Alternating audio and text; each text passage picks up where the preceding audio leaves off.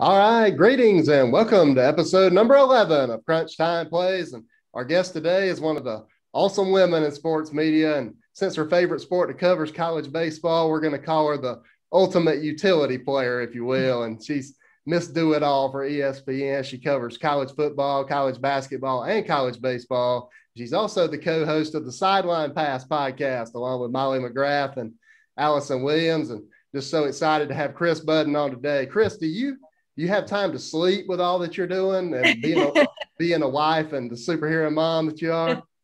I'll tell you what, the the mom part gets in the way of the sleep more than the actual work part. When I'm on a road trip and I'm at a hotel, that's like the best night's sleep ever, uh, in comparison to being home with two little ones. So uh, I manage every now and again. I bet your uh, your husband enjoys whenever you you whenever you go off because he's the one that gets to wake up in the middle of the night. You know.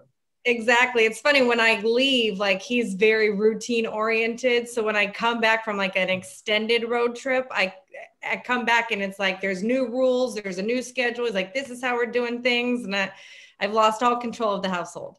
That's awesome. Well, hopefully everything's going well for you out in Texas. I know you and you guys have been in my thoughts and prayers over the past couple weeks. Just to kind of talk about that and what you guys went through out there. Yeah, we were one of the fortunate ones. Um, our power situation was a rolling outage. So it was on an hour, off an hour, on an hour, off an hour for three straight days. And uh, it was really more of a conven- inconvenience than anything because uh, the the power stayed on long enough for our house to stay above 60 degrees and we didn't have any pipes burst so we were one of the the fortunate ones there were a lot of others that are still dealing uh, with some of the ramifications and leaks and water inside their house. So we, we, we maintained pretty well. That's awesome to hear. And th- so glad that you guys and every couple families I know out in Texas weren't affected very much either. So I'm just so thankful for that. And the whole state will, you know, be in our thoughts and prayers going forward. And so going to some more uh, fun topic here, I saw Uh, Peter Burns tweeted this morning, What is the best jersey in college sports? And I've just thought about it and I was like, I got to ask Kris about this because she covers all college sports. And so she's seen, I don't know how many uniforms. So, what what is the best jersey in college sports, Kris? Yeah, to me, is the baby blue baseball uniforms for Ole Miss. They're just like, they're so classic looking. And two years ago, which was the, the last baseball season I covered, they would wear those uh, whenever they had a big game or they were having good luck. And so they would continue to wear them. I know there's like flashy ones at Oregon for football, and then there's like really classic ones with Notre Dame. Uh, but I don't know, something about a baseball uni I love, and the powder blue at Ole Miss is just awesome. Hey, I mean, I agree with you. I mean, I know Oregon's uniforms are awesome, but they're they're just too loud for me sometimes, and I just like a nice classic look. And like you mentioned, the the baby blues for Ole Miss are really awesome. You know, in football and basketball, along with baseball, I thoroughly enjoy whenever they wear those. My favorite, since I'm in South Carolina, probably I've just gotten used to the the Yankee grays that South Carolina wears on the road with the black Carolina on the front. There's a big staple in the in the big, you know, NCAA tournament and College World Series years in 2010 through 2012. And so I think that, that one's probably the best one for me. But I'm I'm a big fan of the Ole Miss Baby Blues as well. I don't know if this will upset you being a, a, a South Carolina fan, but uh, an underrated uni is the Argyle on the North Carolina jerseys. Yeah, I, I do like that. I, I, I, have to admit that that does look good. All right, going to college baseball, Kris. I know you're excited to get it back. I know it's your favorite thing to to cover, and just talk about the. I know you had a big run and in 2019 with Vanderbilt and the College World Series, and you covered them throughout the postseason, and then the tragic situation with Donny Everett. Just talk about how you know thankful we are that college baseball is back, and kind of talk about what you saw from Vanderbilt during that run. Yeah, it was like magical. That's the only word that I could come up with it, and I you, you didn't really realize that tour until the end uh, we'd covered that team and they were fantastic all season. And going into the SEC tournament, they had 101 on the back fence because that was what Donny Everett hit pitch wise, miles per hour, uh, the last time he played there. And that was going to be the last time they left that up because Donny would have been a senior. For those don't know the story, when Donny was a freshman playing for Vanderbilt, uh, he passed away. He drowned the weekend before their regional baseball tournament. Um, Donny Everett would have been a senior on that team. Honestly, probably wouldn't have even been on the team because he probably would have been drafted after his junior year. He was that good. Um, but you began to see in Hoover at the SEC tournament what that meant to that team in that senior class. Because in my interview with Tim Corbin after they won the SEC championship, he got emotional and started crying.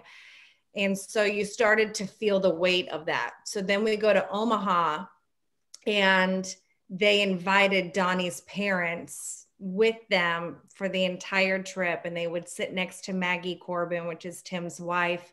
And just you felt it everywhere because we were staying in the same hotel as Vanderbilt. And so watching them walk through and watching them eh, during the championship celebrate on the field and be on the stadium with the rest of the senior class. And Donny was their only child. So I don't like that. That was also probably the first real moment like that that I was witnessing as a mom. I had just had also my my second child, my daughter, um, three months before that, and so watching that entire thing unfold was like I I, I can feel it like it was yesterday.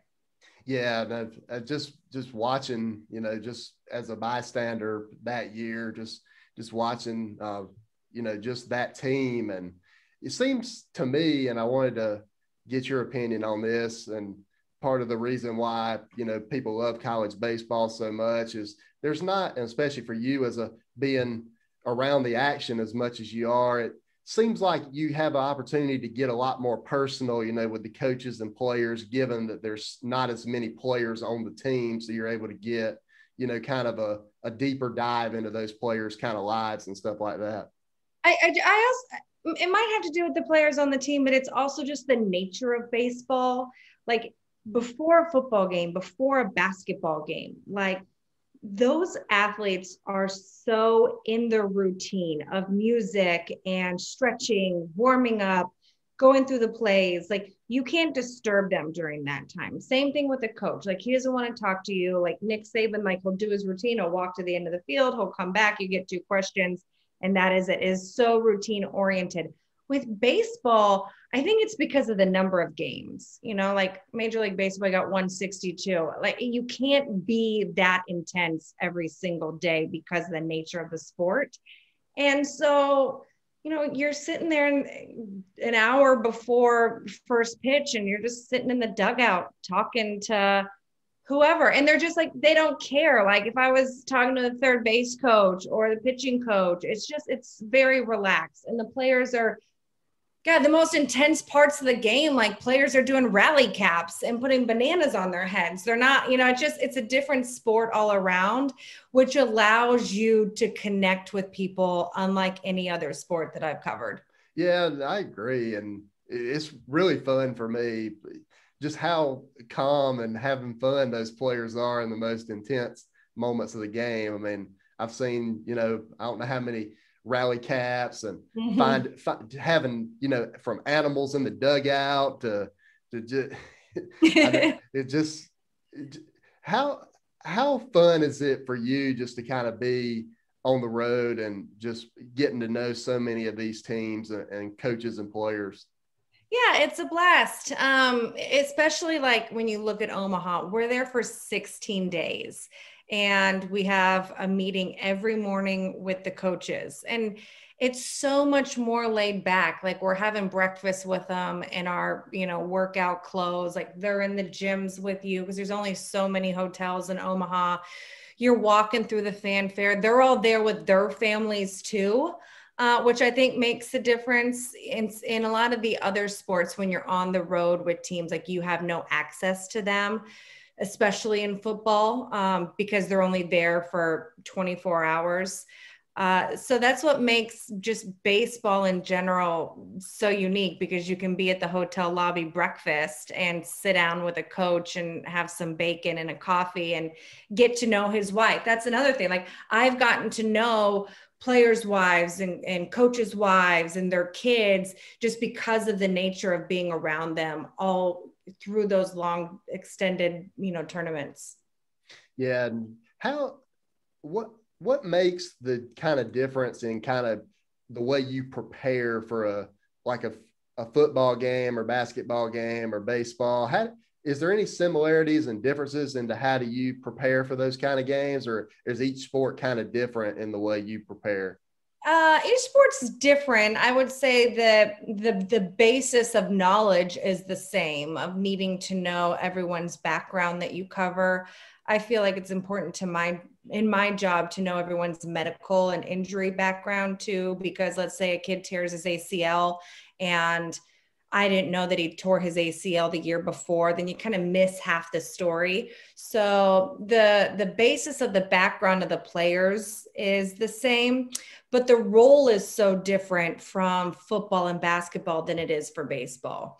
Because when you walk into a football game, you might have all these stories in case of a blowout and 95% of it hits the cutting room floor because so much of what you're reporting on is the eyes and ears that no one else has access to that the guys in the booth don't have access to.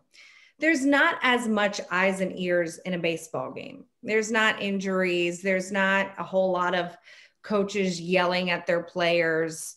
So because you lack that how, how do I add to the broadcast in different ways? And it's being able to sit in a dugout 30 minutes before the game and have conversations with people that not everyone else was privy to. So, in that sense, I have to come in with a lot more material to be able to add to the broadcast because it's just the nature of the sport isn't the same as football and basketball when I can lean in and hear a huddle. Now, sometimes in baseball, depending on where your position is, you get lucky and you can hear conversations, but they're also just they're not as intense like they are in a football or basketball game. I know you I know you prepare a great deal for these games and you probably have, you know, five or six pages, you know, of notes that you have and a lot of it in a lot of the broadcasts is how the game is flowing. Just whenever it's like a, a really close game, or even if it's a blowout, kind of do you tend to just go with what the guys in the booth are talking about, or you kind of just rely on what you've prepared for? Uh, you, you, go with the flow of the game. I mean, if I had a great story on, um, you know, a I'm trying to think like a like a relief pitcher, and he's not in the game, like I can't take a hard left turn if the guy is not in the game or isn't playing well. Um, so a lot of it is having stuff that I would call like add-ons where the guys in the booth are already talking on a certain particular topic or conversation and i can hit my producer and say i can add to that or um, you know they're talking about a way a certain player has played and i see him on the sidelines like fidgeting with his wrist because it hurts. Like those kind of things are what I consider add ons. Um, sometimes they're just reports of, you know, there's a medical injury, and sometimes really good stories about a player and his background or his family, or kind of more the feature stories, require a little bit more production. So you have, you know, we talk about it during a commercial break. But for the most part, like in a close game, I really try, I don't hit my producer up at all because you want the game to breathe. And in a blowout, that's when kind of you use all your material because there's, you don't have to do play by play of every play then. Then you can have more broader conversations. How different has it been um, just from years past, go leading into this year during COVID? How different uh, is broadcasting as far as that? I know you're now you're interacting with the coaches and players you know via zoom and you used to you know get them in person and different things like that. What kind of things do you miss out on going from zoom? What kind of things do you miss out on out on zoom that you would normally get uh, during a personal meeting with a coach or player? I actually think zoom in that aspect has helped in some ways more than others. Because in person for football we only usually get the home team. In the away team we would have to do on a conference call. And coaches are very leery to give up a whole lot of information over a call that you can't tell who's on the line so I feel that those meetings where they can see everybody, it has built a little bit better relationship and allows you to have more personal conversations. So I don't feel like with the Zoom aspect, we've lost too much of that. What we have lost a great deal is um, the post game interviews, the emotion of those, because in football, we were not allowed on the field. So I couldn't run up to a coach right after he won and interview him in that moment. I had to wait probably 15 minutes by the time they got off the field and they came to our mic stand and we had to be six feet apart. Those are the things that I think made a huge difference this year in coverage. And a lot of times, like after a game where I could have gotten a quick interview, well, we got to go to the next game. So they can't wait around 15 minutes for me to finally get a coach to walk over to me. So that's what I really lost during COVID this past year. See, I, I know whenever you were covering the, the Iowa State game when Matt Campbell mm-hmm. just got so emotional at the end of the at the end of the game there. I know it, it would have been you kind of missed out on getting the opportunity to kind of run up to him and catch him in that moment because I feel like you get a lot.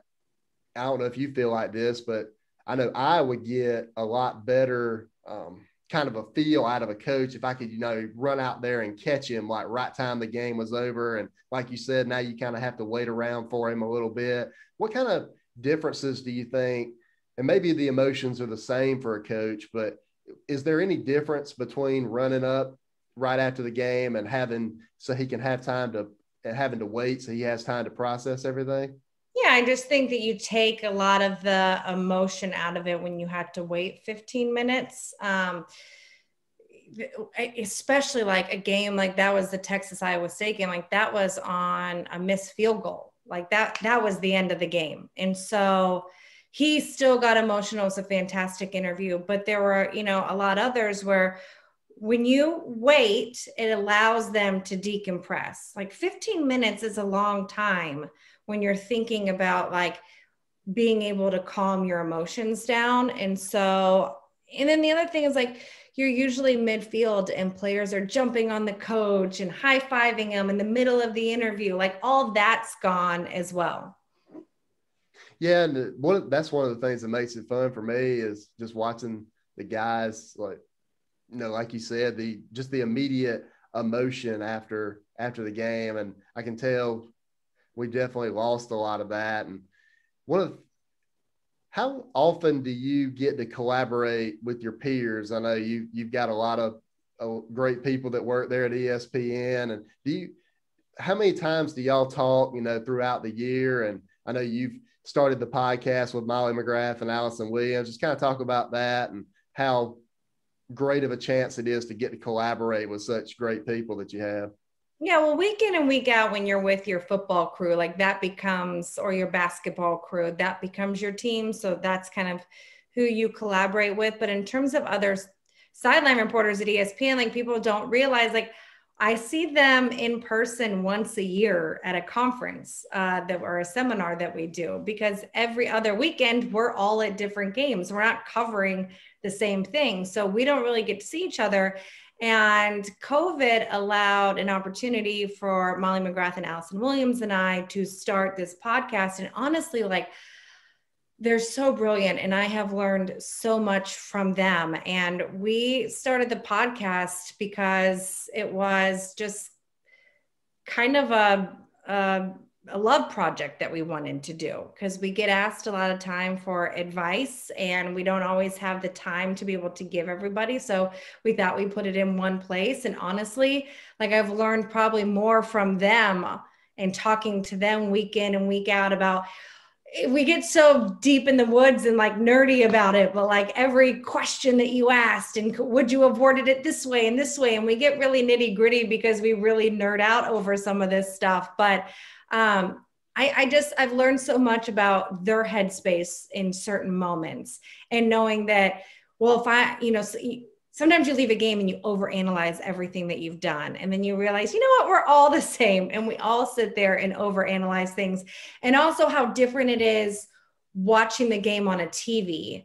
Because, uh, like, there were times where either a bowl game or our games got canceled. Like, Molly and I would be watching the game on TV, watching Allison and wondering, like, is she doing this? Or, or what about this question? And it's so different just watching it through a screen and on Twitter than when you're at the game, like the types of questions you don't know what's like trending on social media or what the cameras have caught that you didn't see. So it was an interesting aspect um, of that as well. But honestly, like that has been like the biggest blessing out of this COVID time was building that relationship and the friendships with Molly and Allison. And we text every day, and Molly's a new mom. So Allison and I have um, loved seeing her kind of new journey with that as well. Yeah, you mentioned uh, bring up a great point that I wanted to touch on with you next is being a mom, you know, and working in the capacity that you guys do. Just kind of what's changed as far as uh, that, and um, just I know for me, it's I really admire watching you guys because you've your moms, you're you know you got so many family responsibilities, and yet you're still have the job that you love. Just kind of talk about that and how that's kind of affected uh, your life. Yeah, I mean, it's a, the the challenge of having to multitask and schedule, and you know, I, I used to give everything to my job. I'm not saying I don't anymore, but like I could drop anything if I was at the grocery store and go run out to breaking news. Like can't do that anymore to make sure someone is at home watching the kids uh, and and managing their schedules and my schedules which is probably the hardest part of it. Um, honestly, like the the a lot of the work that I do at home, I can do around um, their schedules. So that is pretty easy. The stuff that I do during the week. It's hard though, you know, like my husband used to travel for his job when he was in tennis, and he would travel and I would travel, and it would require like me dropping t- flying with my son Jace when I first had him and dropping him off at the TSA in DFW and handing him on to my parents so then I could go to the next game. You learn um, how to manage it better that we couldn't continue doing what we were doing in terms of like both of our travel schedules. That there you just have to simplify some things. I also learned to, how to get rid of mom guilt you know like you feel guilty that you're not able to do all the other things as your work peers and then you feel guilty that you can't be at every baseball or karate or whatever event with your kids. And if you sit there and try and be perfect at both of them and give 100% at both of them you will constantly fail in your head because you feel like you're not giving enough. And I, live by the phrase be where your feet are. So when I'm at home with my kids and I'm not working, I try and be with them. When I'm at work, my job gets, you know, 98% of me. But again, like it's all what your own expectations are. Like I don't really have very high expectations of myself in terms of like trying to be perfect all the time. Like I just kind of got rid of that. And so what is you know, someone who does it all or manages it all. It's all based on what your own expectations are. And so for me, like if my house is a mess, but my kids are happy and they made it to karate on time and they made it to school and they did their homework and everyone got fed and I did a good job on air, then that then it was a good day. That's awesome. Who are some of the people that that you look up to? I know um, when I was preparing for the show, I listened to you know, some of the interviews that you've done over the past little while. And you mentioned, you know, Tom Rinaldi, who used to be at ESPN's now at Fox Sports now. Just kind of what what kind of impact did he have on your career, and who are some of the other mentors and different things that you've had? Yeah, you know what's funny? Um, Tom Rinaldi, I have always loved as a storyteller and an interviewer, and I re- I don't even have like a close relationship with him. It's not like him and I have sat down and um, talked about. I, we have a relationship, but it's not like you know I I call him every time I need to ask a big interview. Uh, but I love his approach to storytelling. I love like he is the goat of interviewers and I, I, always go back to a podcast he did with richard deitsch and he had to go interview Nick Saban after they lost in the national championship game. And he was talking about how he didn't know what to ask. Like I had to think about the smartest, best question because otherwise Saban, you get a little worked up over Saban because you don't want him to think you're dumb. And he goes, I realized the easiest question, uh, the best question was the easiest question. And that's what went wrong, uh, which shows you like Rinaldi didn't give me that advice. He just did it on a podcast. And I have taken that advice to everything. So, you know, for people that are wondering, like, how do I get advice? Like, listen to podcasts. That's how I got the best advice I ever did. Um, the, the person who really helped me hands on at the beginning of my career in national sports was Pam Oliver. I shared we I was we were both working for Fox and it was my first year with them and we were going to a seminar and I shared an Uber with her to our seminar place. She didn't know who I was from anyone. And she probably thought I was like the most annoying, like 29 year old, uh, like asking her a million questions. And she could not have been nicer and sat there and answered every question. And I talked to her through the entire season. There's things that you don't realize when you move into regional and national sports and, and doing live events of the art of selling your stuff, selling your stories to a producer and your and your team. Um, being okay with a lot of your info, not making the broadcast. So those were a lot of things that she helped me get through my first season. I wanted to ask you about that. You mentioned, I know we talked about earlier, you've got it so many pages of notes and going into a game and how, how difficult is it? Or maybe you just put it out of your mind now, but when you work so hard to kind of prepare for the game and a lot of that stuff just doesn't make it on the air is that was that deflating for you when you first started? And but is it not really deflating so much anymore? Yeah because i think my first couple years i took it personally. Um and, and maybe i also don't at that point i didn't have the eye like a producer watches and does a game um so I had to learn that the game dictates the producer, the director, the the booth doesn't dictate what gets on air. It's really the game. And if a lot of my stuff didn't make it in, but I still had a ton of hits, like I'm great with that because it's material that I came up with in the game. And when this year, especially when there weren't fans and we could hear so much more, it allowed me the opportunity to take those notes and put them to the side and really focus on what I was hearing and seeing. Sometimes we have a, all these like stories. Oh, I got to get this and I got to get this, and it is now the time to sell it because I saw that. Like you, that becomes so much of your focus that you're. It takes away of what you're watching and seeing. And I realized when I was allowed to like let that you know go to the wayside that i was allowing my brain more space to focus on small things like that no one would have even noticed like of, of a quarterback you know spencer rattler was he, he took a hit and i watched him come off and he slightly put his hand on like his midsection. And i watched him and he seemed fine and he went out to play another series and he couldn't get through the series and the the guys in the booth are like, oh, he must have gotten hurt on that play. And I was like, you know what? I was so laser focused on watching him come off the field two series ago that I knew exactly what play it was. And I knew exactly how he reacted. Sometimes if you're just watching the game and so focused on how do I get a story in, you'll miss those small little things that make a huge difference in the game.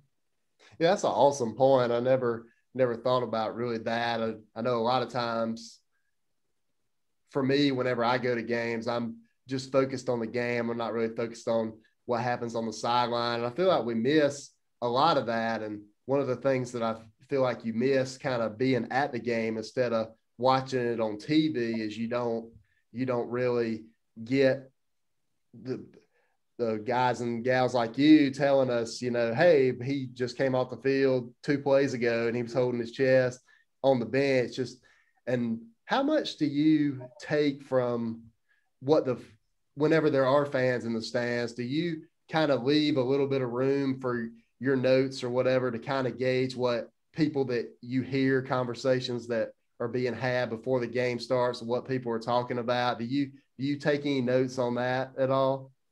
Uh, I do on the sidelines of notes between players and coaches, um, not necessarily in the stands because there's not a ton of interaction then. Um, but I do. I mean, she just, I mean, it could be small things. Did someone not come out for, uh, you know, for the final five minutes of warmups? Or I remember I, I did a game at SMU this year and the entire away team came out to warm up two and a half hours before the game like before I even got there. Well, that's a report. It's things that like just anything out of the ordinary. If something, a producer of ours, Bart Fox, who uh, used to work at ESPN, always said, if it it's if it's something that makes you go, huh, it's worth looking into and it's worth reporting on. How far have we? We're going back to our conversation earlier about you know being moms and different things like that and working in sports. How how far have we come with with women in sports? And that's been been kind of a contentious topic here over the last few years. How how far do you think we've come, and what more opportunities for growth are there?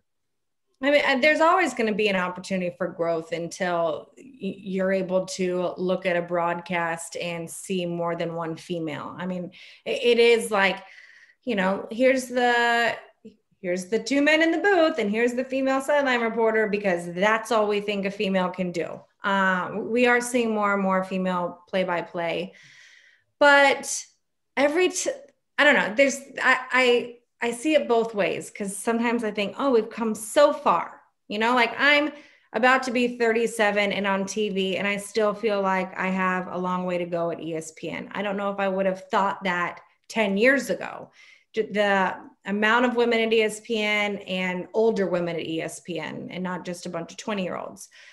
But then stories come out about the Mets or whatever. And I'm like, every time I feel like we've taken two steps forward, we take a step back. And I have plenty of those stories. And will I share them? I, I don't know. Um, I haven't yet. I think about it. And, you know, some of the one of the main reasons I haven't is my family. You know, is it worth it for me to tell it? Um, will things change? Probably not. For my dad to hear all about the stuff that happened to me, or my husband, you know, my husband knows, but like my, my parents don't. So that until we're all at a place where we can all feel comfortable sharing the things that have happened to us. It's going to continue because people know that they can get away with it.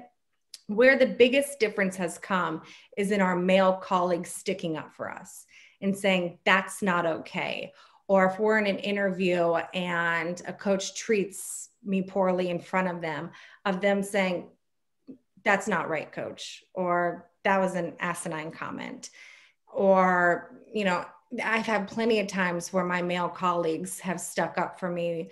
Um, and probably many more that haven't because they knew I would stick up for myself too. And I've learned to do that a little bit more as you get older. But when you're younger and you're 27 and you have your first national job, like how is that person supposed to go put their career on the line to share what so and so did to them?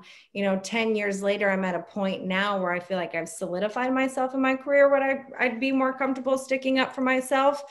But those also aren't always the women that are being preyed upon. It's the people that they know that they can take advantage of because they're not that point in their career.